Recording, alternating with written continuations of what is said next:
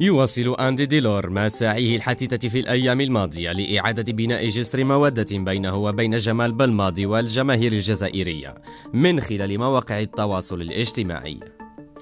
وقام أندي ديلور في الساعة الماضية بإعادة نشر فيديوهين اثنين يظهران بعض اللقطات الجميلة التي قام بها وهو يحمل ألوان المنتخب الجزائري مع خلفية بالعلم الوطني. وتعتبر هذه الخرجة هي الثانية لدولار في 48 ساعة حيث سبق وأن نشر ستوري في إنستغرام يشكر فيه الجزائريين على رسائلهم له. وتؤكد كل المعطيات بأن الخطوات التي يقوم بها دولار لن تجدي نفعا.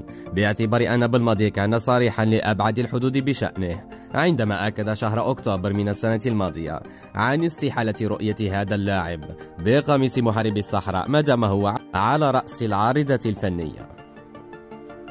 يذكر بأن دولور أدار ظهره للمنتخب الوطني الأشهر الماضية عندما طلب من الكوتش جمال إعفاءه من المشاركة في الكان من أجل التركيز على ناديه.